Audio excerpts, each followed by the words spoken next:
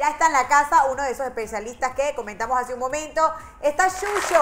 que Está llegado. está. Jesús Bueno, Valbuena. hoy dijeron que, que iban a hacer lo que querían Sí. conmigo. No, yo, yo lo que le conté a Jesús es que además del tema que él traiga, hoy estamos en, en modo hacemos lo que queremos con el que le hacemos las preguntas. Por ejemplo, nos vino una nutricionista y le hablamos del Viagra, porque somos así, somos rebeldes. Así que por ahí hoy te preguntamos qué opinas de la deuda externa, qué opinas del futuro presidente de Panamá, cómo ves al canal, cómo ves la curva de la relación de, de la- de Panamá en la clasificación de la CONCACAF. Oye, pero queremos que él nos inicie primero con, con sus estrategias. Ok, ok. Me siento intimidado. Cuéntame, Chucho. Bueno, ¿Hay bueno. algo nuevo para el 2022? Totalmente. año nuevo. Tot- bueno, también, aparte de eso. Miren, hay muchas estrategias de marca personal. Las personas que dicen, quiero darme a conocer en redes, que otras personas sepan lo que hago, mis servicios. Eh, hay muchas cosas que pueden hacer. Efectivamente vienen algunas estrategias para el 2022. Hemos hablado aquí de todo. Metaverso, que le hemos hablado bastante. Este, hemos hablado de filtros y otras cosas. Y lo que traigo es una compilación, un resumen de algunas estrategias que se han usado este año, que se van a seguir usando el otro año. Y por supuesto, al final hay una invitación. Ok. Ok, También. ok, me pero, parece. Pero bueno, me traje algunas imágenes que vamos a empezar a utilizar. Ok. Eh, la primera tiene que ver con, obviamente, la primera estrategia de la que voy a hablar hoy, que tiene que ver con todo el remix que hemos hablado también en programas anteriores, la fuerza de los reels, el hecho de hacer videos compartidos, eh, cómo estos tienen un tráfico como tal. Y hablándoles un poquito de números, que no sé si por allí ya viene alguna, alguna imagen. Sí, la Sí, estamos. la están buscando. La están está en el horno, la. Buscando, Ya va a salir. está en el horno. Está saliendo. Es como el pan, hasta que no está el tiempo exacto no lo podemos sacar antes porque si no sale feo el pan. No, bueno, está bien. está Ya bien. sale, ahí está, mira. Miren, hay dos casos que yo les había comentado la otra vez, eh, pero casos tengo muchísimos. ¿Tú pusiste algún Eh, TikTok mío aquí? No. Eh, un TikTok tuyo, no, no. Ah, repeté, porque hablaste de mis TikToks antes y dije, no, no me expongas en vivo, por favor. Miren, tengo muchos casos, tanto de personas como de empresas. Ahí pueden ver el caso de Tania, que la conocemos. Tania empezó a publicar, este, como todos sabemos, ella es profesora de modelaje, también este, habla sobre el lenguaje corporal. Y cuando Tania empezó a utilizar Reels para hablar de lenguaje corporal, su cuenta literalmente se explotó. Disparó. Se disparó, creció como 40 mil seguidores en dos meses, Wow. este, orgánicamente sin pagar publicidad. Y esto es porque se conectó con lo que hace más la información de Reels. Pero no solamente a Tania le ha pasado, si se fijan, aquí también en Panamá este, le ha pasado a Maricela. Maricela empezó también a conectar un poquito más con, con lo que ella habla. Ajá. Lenguaje corporal, ahí tiene un reel que tuvo eh, 400 y algo mil de reproducciones.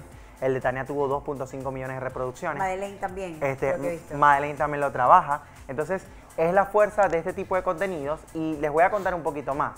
Hay una empresa con la que yo trabajo que habla, o su tema es el concreto, no es marca personal ni siquiera, solamente es concreto, concreto estampado, está en chorrera.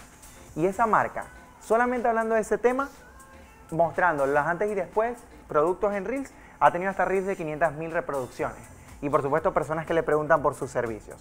O sea que en este punto, 2022, si nosotros no estamos haciendo Reels o no estamos haciendo TikTok o no estamos haciendo posts en TikTok, debemos reconsiderarlo porque es un contenido gratuito que, ojo, ya se puede monetizar por Reels. Eh, ya vinieron unas pruebas beta. Tengo Ah, una- porque hay gente, eso te iba a decir, hay gente que es youtuber, que hace contenido en YouTube. Este, sabemos que aquí en Panamá tal vez no paga bien, eh, probablemente, o sea, no, no es algo que sirva mucho monetariamente, pero hay youtubers que están en México, que están en España, que generan mucho dinero con. YouTube, que dicen, hago un reel, este, tengo unas visualizaciones a- abrumadoras, hasta más que en un YouTube, pero no genero dinero. Ya Entonces, va a por cambiar. eso hay muchos que no lo querían hacer. Claro. Ya eso va a cambiar. De hecho, les voy a decir, tengo una cliente amiga de muchos años que también trabaja con temas de eh, comunicación, está en Miami, ya ella tiene su cuenta de Reels y ya está monetizando por Reels. Esto es totalmente Wow. real. Este, Y de- debe llegar acá, definitivamente. Ah, va a llegar acá. Sí, va a llegar acá con un último, pero va a 1% de lo que ganan en Miami, porque acá no llega el dinero. Tú sabes que aquí, ver, o sea, yo puedo hacer un video de YouTube y lo ven un millón de personas. Aquí en Panamá lo que yo gane va a ser muchísimo menos de lo que gane en España con claro, un te millón. paga, pero menos. exacto. Totalmente, totalmente. De hecho, ya me dijo Jesús, ya lo publiqué ayer y pues ya tiene un acumulado como de 130 dólares. Allí guardaditos, Bueno, que bueno. bueno, Bueno, ahí están, ahí están. ahí Imagínate en la medida que va subiendo eso, oye, qué emoción. Total, para la gente que está haciendo Reels, bueno, ya viene una oportunidad con eso. Y eso me lleva a la 2, a la, a la siguiente imagen que viene por aquí. Me siento como una exposición. Ajá. Me gusta, a mí también me gusta. Profe, Profe, la siguiente. Miren, eh, esto quizás no es tan popular, pero les puedo decir que en mi experiencia asesorando marcas personales tiene demasiado poder. Y es hacer videos promotes. ¿A qué me refiero con eso? Lo nuevo del mes de Netflix, por ejemplo. Sí, exactamente. O de Si tú- cualquier tema, ¿no? Totalmente. Si tú tienes un tema que es interesante, tú puedes grabar un video de 60 segundos máximo, lo puedes hacer en formato horizontal, le metes publicidad, objetivos de visitas al perfil, los promotes podrían funcionarte para eso y crecer. Ah, pero tú dices promote pago de publicidad. Promote pagos. Ah, Ajá. porque hay mucha gente que hace, por ejemplo, servicio, que presta servicio, Total. que creo que es lo que linkearon los primeros, las primeras que pusiste que a mí me gusta, y es cuando tú tienes algo que le puedes ofrecer a la gente. Y lo que haces es darle un servicio, además de lo que tú haces. Por ejemplo, yo tengo mi TikTok y no le estoy dando el uso que debería. Hasta me han escrito de TikTok por Instagram. Este, para ver si eh, quería trabajar, o sea, cómo quería, me- darme tips para trabajar mi TikTok. Yo hice un par de videos cómicos con, con Carolina o solo y ya, pero hay gente que tiene un servicio para dar. Voy a dar ese ejemplo, lo que tú decías, eh, gestos de, de las personas demás. Tú pones eso súper interesante para el que mira TikTok. Hay que acordarse que TikTok es como mirar la tele y hacer zapping. Así Entonces, mismo. sirve, además de que es una persona conocida, te da un servicio, entonces empezás a generar los seguidores y las interacciones. No, de las cosas que te gusta, es decir, clases y demás también, por lo menos. Esos videos que uno ve eh, de información de cosas y que reptilianos, que no sé qué, que el apocalipsis y estas cosas. Esas O son las cosas que a ti te gustan y por eso te llegan. Sí, no, me, me gusta verlo, verdad, no sé, es como, no sé, me parece interesante. Pero lo que me llama Voy la atención descubriendo es, eso. Ajá, lo que me llama la atención es cómo arman todo y le ponen el efecto y demás. Y agarra y se dispara las Claro. reproducciones y los comentarios que, claro, ahí ellos generan, porque estamos hablando videos pues de No, personas que y viven hay gente que es famosa sola de. TikTok. Tú vas a su. Instagram, 5.000 seguidores. Vas a su YouTube, no tiene. Eh, su, Facebook no tiene. Pero en Instagram tiene 2 millones. En TikTok tiene 2 millones. ¿Por qué? Porque se hizo por ese servicio famosa en TikTok o famoso en TikTok. Hay muchos. Totalmente, ¿no? Y lo mismo en YouTube. Yo sigo a un youtuber que es súper conocido, me encanta porque es de. Nombre, nombre. ¿Cuál es? Yoyo, es de Perú. Ah, ok. Y obviamente... ¿Qué en- hace? Cuéntanos. Ah, eh, bueno, hace reseñas, reseñas de anime, videojuegos. Pero... Yo este creo que Chucho y yo tenemos más cosas en común. Que hablar fuera de... Fuera de... Pero obviamente, obviamente en Instagram tiene 5000 seguidores. De hecho, de hecho no responde los comentarios. No está muy activo en Instagram, pero en YouTube obviamente tiene cualquier cantidad de usuarios porque esa es su fuerza. Pero hablándoles un poquito de esto, a lo que me refiero es, a veces eh, TikTok o Reels es en el momento que se haga viral o que nuestro contenido vaya a crecer. Pero si estamos como que con muchas ganas, muchas, muchas, muchas ganas de tener la posibilidad de llegar a más personas con mi contenido, una forma de hacerlo es haciendo promote de nuestro video. Es decir, hacemos un contenido en video, 60 segundos, hablamos que sí de lenguaje corporal u otras cosas que, que queramos hablar y ese contenido lo puedo promocionar con objetivos de visitas al perfil y puedo llegar a más personas. O sea, es una forma como de poder como manipular un poquito el hecho de que llego a más personas, quizás porque todavía no tengo mucho tráfico para hacerlo por sí solo, entonces me apoyo con publicidad. Ahora, Chucho, la gente lo hace con texto. Usualmente no hablas, no sé si por el corto del, lo corto del tiempo. ¿Cómo así con pero, texto? Es decir, estoy. Subtítulos. Ah, ¿Cómo? subtítulos, Ajá. exacto. Que colocas, disque. Y le, por ejemplo, dice, ah, ok, como, como el de Marisela. Ok, la panza no es así, escribes, no, no es la posición, es la postura. Entonces hace, disque. Lo que pasa es que TikTok... A o sea, me explico, no hablas, Por, pero por, por darte cuenta, texto. TikTok, eh, TikTok. TikTok, que es la el show más china como que el chino. es como Sí, Chucho y TikTok. Es como el TikTok de Chucho.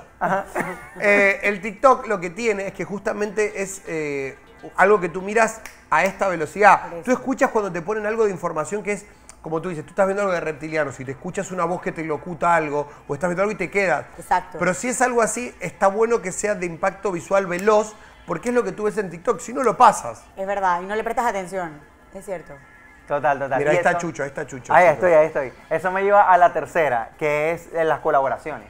Este, justamente Esta hacer- nueva cosa que tiene Instagram. Sí, y totalmente funciona. Por ejemplo, si yo quiero llegar a más personas, quizás no estoy pagando mucha publicidad para eso, y no puede que no tengan mucho tráfico, pues podemos también unirnos a otras personas que nos pueden ayudar a crecer. También esto funciona para dos marcas que tienen este, públicos similares. Por ejemplo, tenemos dos invitados espectaculares que están por allá backstage. Sí, que, no paran hacer- de hablar entre ustedes los tres, me encanta. Exacto, que pueden hacer una colaboración juntos porque tienen temas en común. Exacto, van muy asociados. Total, ese tipo de cosas se pueden hacer. Y pues obviamente el bueno, lo bueno de las colaboraciones es que se fusionan los dos tráficos, ambas cuentas están al mismo tiempo con la misma publicación y lo que va a ser bueno para uno va a ser bueno para el otro también. Ahora, si tú haces este tipo de, de por lo menos en, en Reel o en TikTok, no, no garantiza que tu mismo Instagram aumente tan veloz como es en el TikTok, no, ¿cierto? no. No tiene una cosa nada O sea, que te ver con puede otra. servir, pero por eso yo contaba el Te ejemplo ese. servir. Hay gente que tiene, eh, yo miro, yo soy, de- bueno, ahí Chucho hablaba de los videojuegos, yo soy de mirar mucho Twitch, que es la plataforma por excelencia del gamer, porque lo que tú ves es gente jugar videojuegos. En general, ya la, la plataforma está cambiando y de acá a unos años va a ser simplemente un centro de televisión. Pero todavía está mucho más abocado a los videojuegos. Y tuve gente que tiene eh, cientos de miles, millones de seguidores, tal, pues millones no sé, pero cientos de miles. Y en, Tik- y en Instagram no tienen casi 18 seguidores. mil, no porque el público no es el mismo. Yo, ahí justamente fue donde yo conté eso. Yo teniendo más de 300 mil seguidores en Instagram, cuando me volqué a Twitch dije, la voy a romper. En dos días tengo un canal de Twitch, voy a monetizar, la voy a pasar genial. Y no me miraba ni el loro, estaba El solo. Yo le hablaba, le hablaba a la pared. Y yo estaba como. Y me daba risa porque Carolina me miraba con una ternura y yo feliz. Y cinco personas viéndome. Bueno, esas cinco personas me dedicaban su tiempo en, un comienzo. Pero, pero no es así. Entonces es importante también entender eso, que por más que una cosa te pueda de servir de otra. jalar para, para hacer otra, hay muchas de las plataformas que no son el mismo público. Hay otras que sí, pero hay muchas que no. Claro. Así es, así es. En este caso de las colaboraciones, pues sí nos puede ayudar, pero en, el mo- en la misma red, quizás para generar un tráfico directo. Y bueno, eso me lleva a la, a la otra, la que está por allá, y que la siguiente. La siguiente, la siguiente. ajá.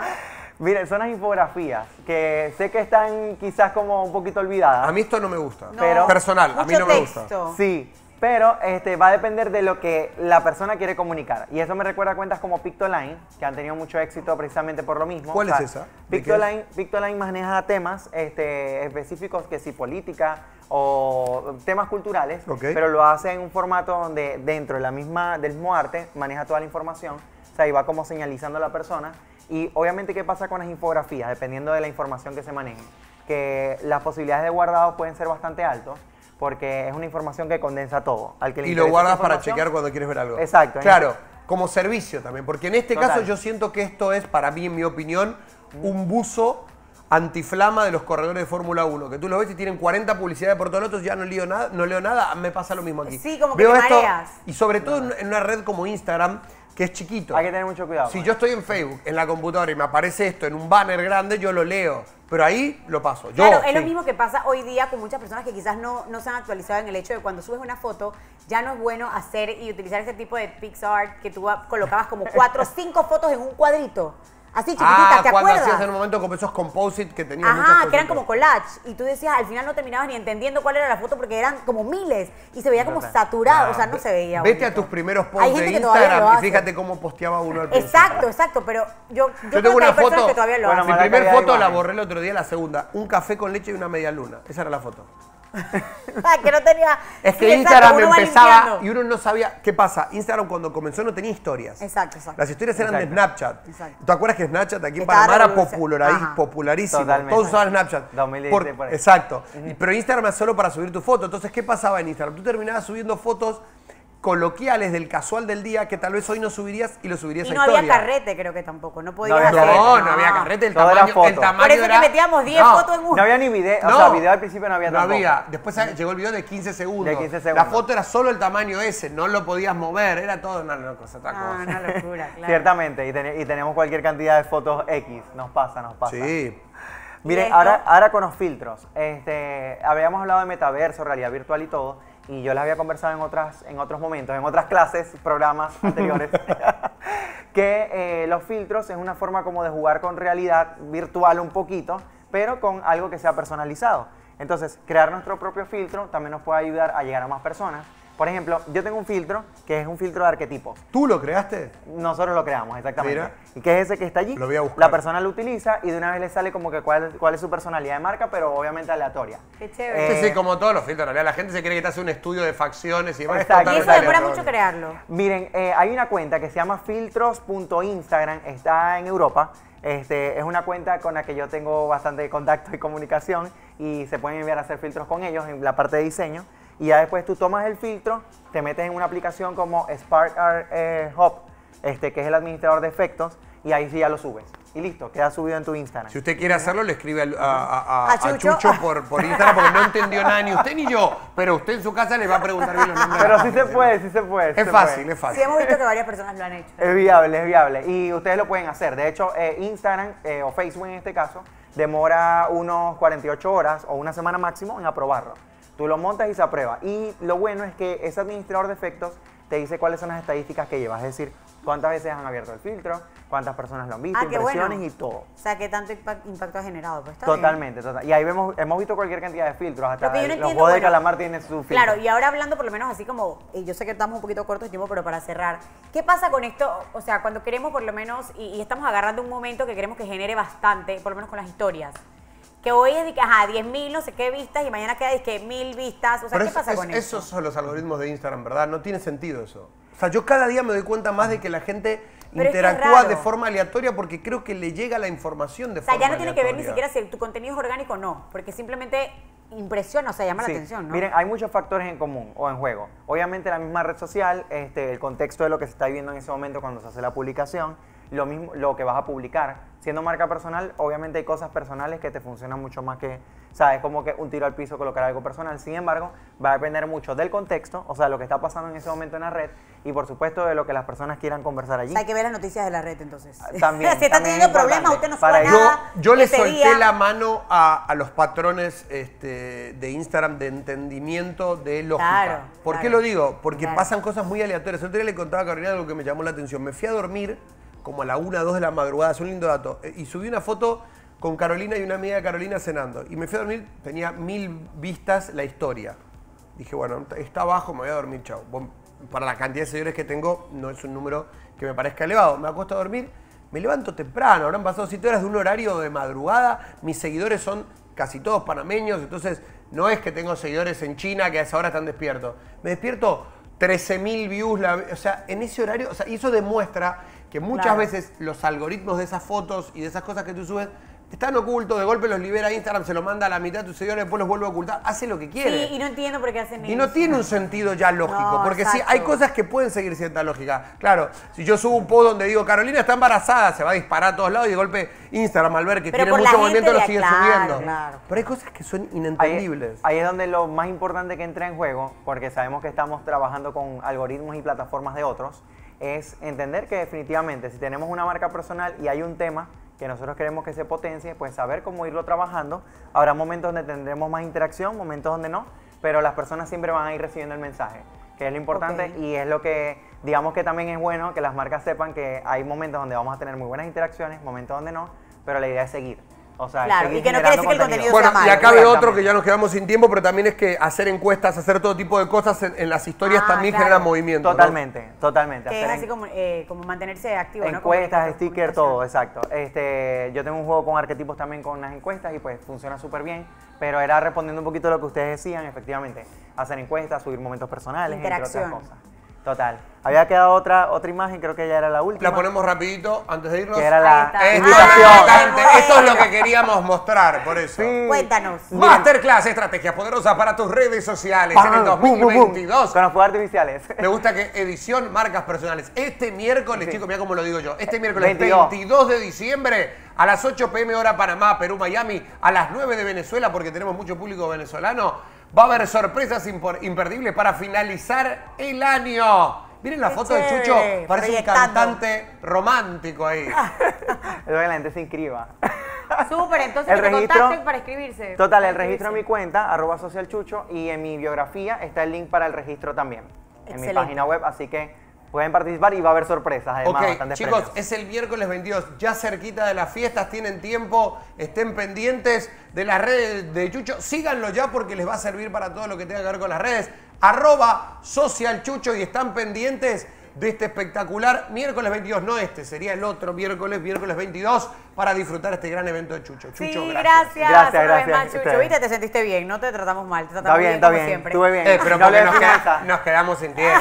¿Sabes las preguntas que le iba a hacer? Chucho, gracias. Gracias, Un gracias, gusto gracias. verte.